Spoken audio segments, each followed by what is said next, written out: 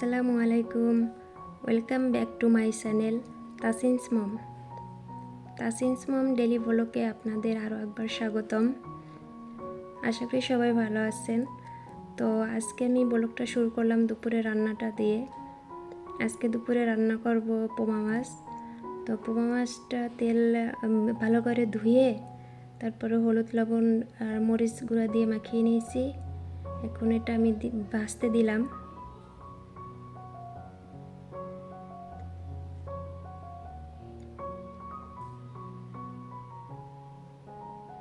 এখাতে mobile ধরে video করছি, আর আগাতে মাছটা ভাজতে দিচ্ছি তাই কিছুটা ভয় লাগতেছে।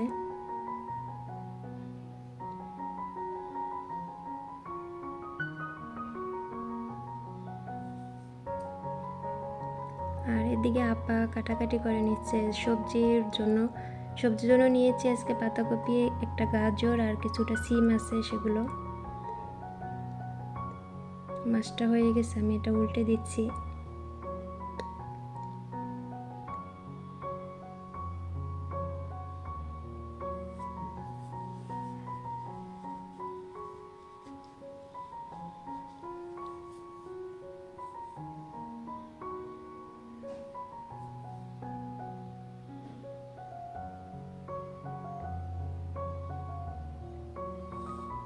আমার মাছটা ভাজা হয়ে গেছে, এটা তুলে নেব এখন।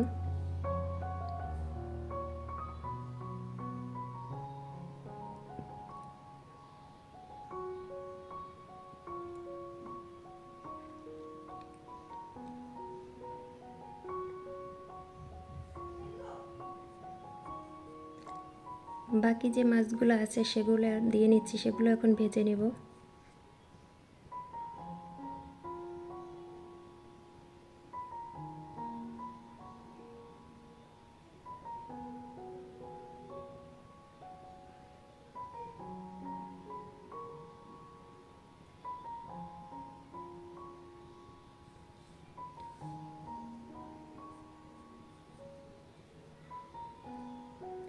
আপার ভাজিটা কুচি করা হয়ে গেছে, এখন ধুয়ে নিচ্ছে।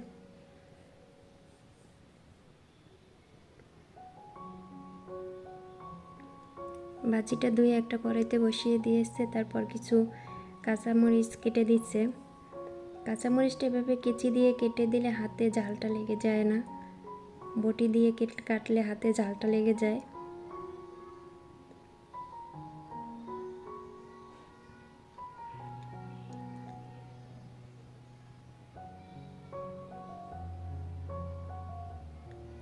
লবণ দিয়ে দিল কিছু।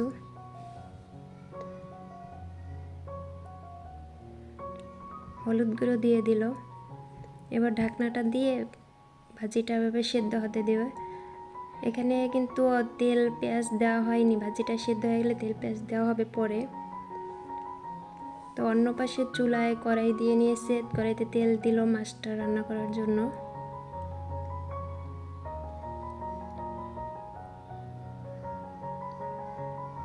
পেঁয়াজ কুচিগুলো দিয়ে দিল।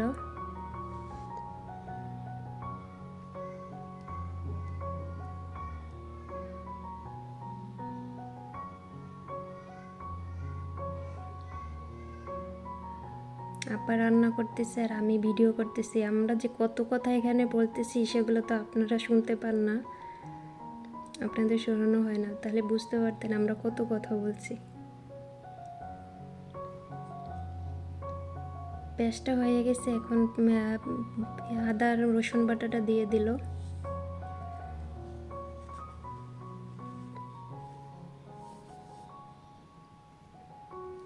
লবণ দিয়ে দিল।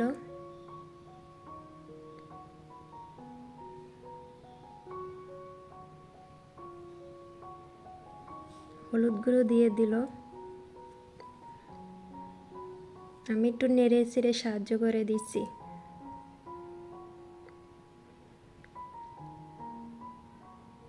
মরিচের গুঁড়ো দিয়ে নিল।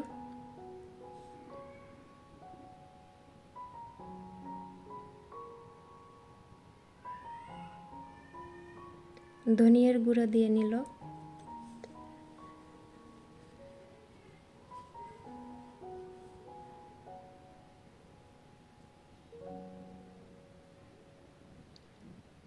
মশলাটা কিছুক্ষণ কষ- কষিয়ে নিলাম।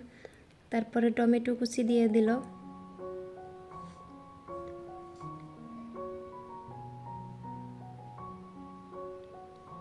মাছ মাছে কিছুটা ধনিয়া পাতা দিব।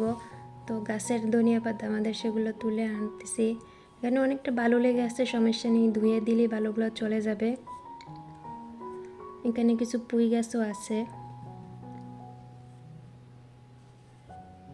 আপা ভালো করে পাতাগুলো ধুয়ে নিচ্ছে। আসলে আমরা যখন বাজার থেকে শাক কিনে নিই, তখনও শাকে কিন্তু অনেক বালু থাকে। তো ধুয়ে নিলে পরিষ্কার হয়ে যায়। তো ধনিয়া পাতাটা কুচি করে মাছের ভিতরে দিয়ে দিল। মাছ রান্না কিন্তু প্রায় হয়ে গেছে। তো ভাজিটার এখন তেল পেস্ট দিয়ে নেবে, তাই তেল পেস্টটা ভাজতে দিল।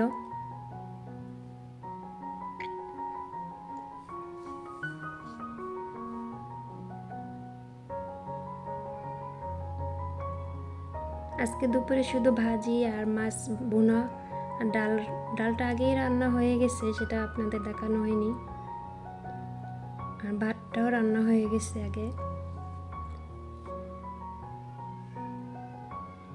তো এখন ভাজিটা পেল তেল পেস্ট দিয়ে নিলে আমাদের দুপুরে রান্না শেষ।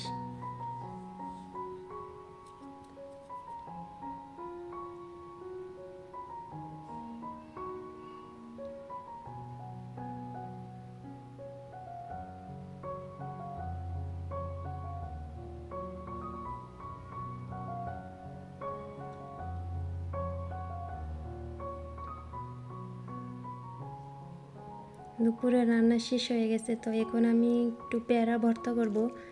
গোছলে যাওয়ার আগে একটু পেয়ারা ভর্তা খাব। তাই পেয়ারাটা কেটে নিলাম। পেয়ারাটা আমি ছোটো ছোটো টুকরো করে নিব।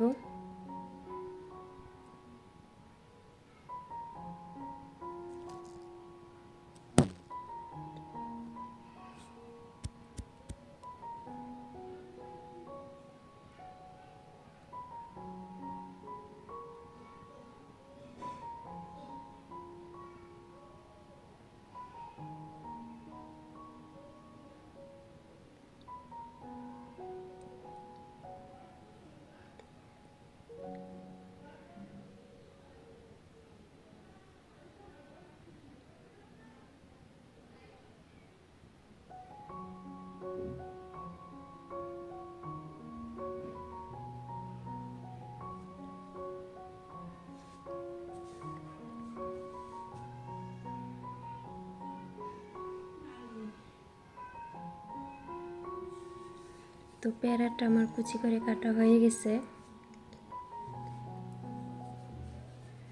এখন এর ভিতরে কিছু লবণ দিয়ে নিলাম।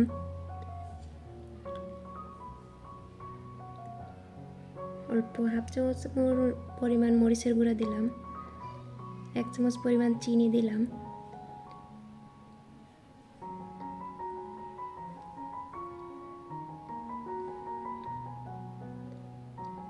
দুই চামচ পরিমাণ সরিষা দিয়ে কাসুন্দি দিলাম। তো এটা আমি এখন ভালো করে মিক্স করে নেব।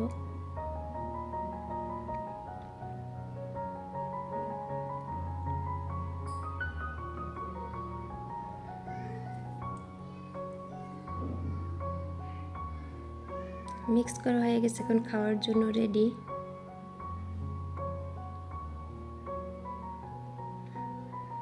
এভাবে পেয়ারা ভর্তাটা করলে সবাই পছন্দ করে আর খেতেও খুব টেস্ট লাগে।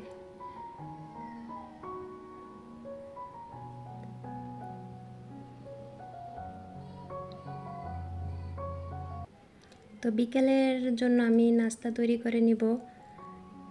বিকেলে নাস্তার তৈরিটা করব, তৈরি করব আমি অন্য একটা, অন্যরকম নতুন একটা নাস্তা তৈরি করব। তো পেঁয়াজ আর ডিম শুধু দিয়ে নাস্তাটা তৈরি করব। এখানে চার পাঁচটা পেঁয়াজ কেটে আমি কুচি করে আগে লবণ মাখিয়ে নিয়েছি। দশ পরিমাণ পরিমাণ রেখে দিয়েছি। ডিম সেদ্ধ নিয়েছি আর এখানে কিছু মশলা নিয়েছি। চাট মশলা নিয়েছি, আর মরিচের গুঁড়া নিয়েছি, হলুদের গুঁড়া নিয়েছি, তার ভাজা জিরের গুঁড়ো আর বিট লবণ নিয়েছি।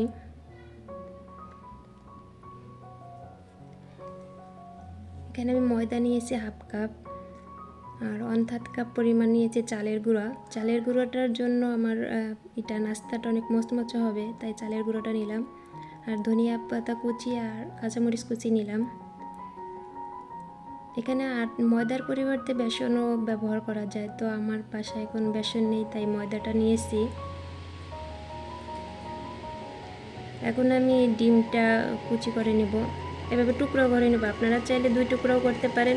তো আমি চার টুকরো করে নিব।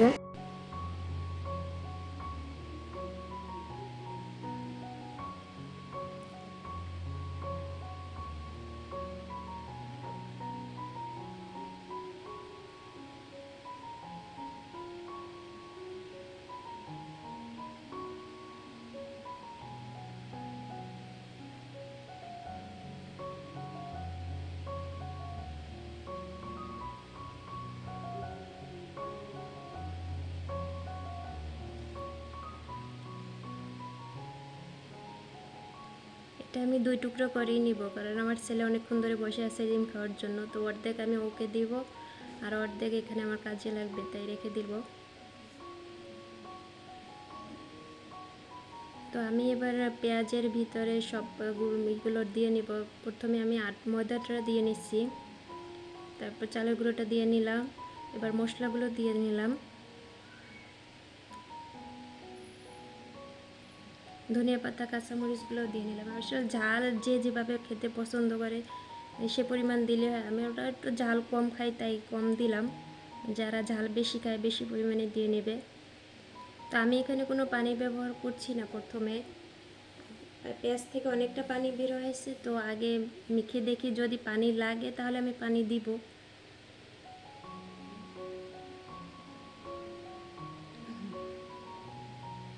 আমার অল্প একটু পরিমাণে পানি লাগবে, সেটা দিয়ে নিচ্ছি।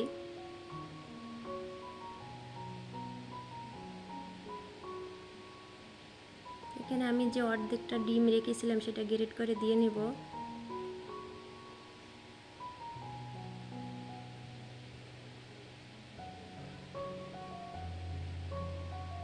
তো আমার নাস্তাটা বানাতে দু হাত লাগবে, তাই দু হাত আমি ভালো করে ধুয়ে নিয়েছি।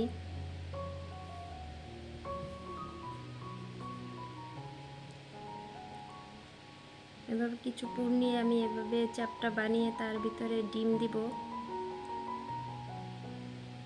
ডিমটা দিয়ে উপর থেকে আবার পুরটা দিয়ে আটকে দেব। আসলে এটা বলে বোঝানো সম্ভব না, দেখে বুঝতে হবে যে কীভাবে বানাচ্ছি। আর নাস্তাটা খেতে অনেক সুস্বাদু হয়। আপনারা অবশ্যই বাসায় বানিয়ে খাবেন। তারপর আমাকে কমেন্টে বলবেন, কেমন হয়েছে? আর যারা আমার ভিডিওটা প্রথম দেখছেন, তারা অবশ্যই একটা সাবস্ক্রাইব করে দিবেন।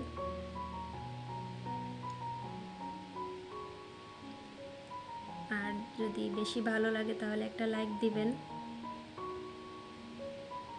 আমার সবগুলো বানানো হয়ে গেছে, এখন ভাজতে চলে যাব।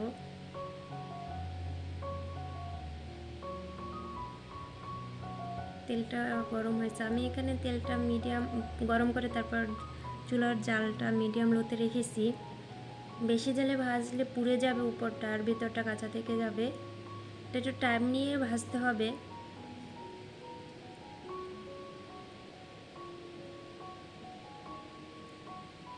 একটা কাঁটা চামচের সাহায্যে আমি এটাকে উল্টে দিচ্ছি। আর একটু টাইম নিয়ে ভাজতেছি না হলে উপরটা পুড়ে যাবে আর ভিতরটা কাঁচা থেকে যাবে। খেতে ভালো লাগবে না।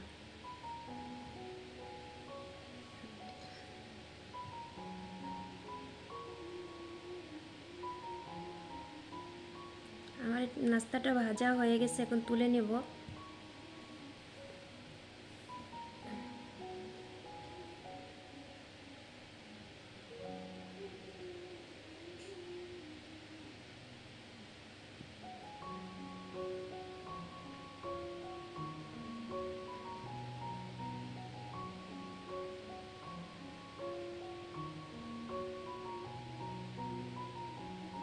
দেখতে কিন্তু অনেকটাই সুন্দর হয়েছে, খেতেও সেরকম সুস্বাদু। আমি একটা ভেঙে দেখাচ্ছি, ভিতরটা কীরকম হয়েছে।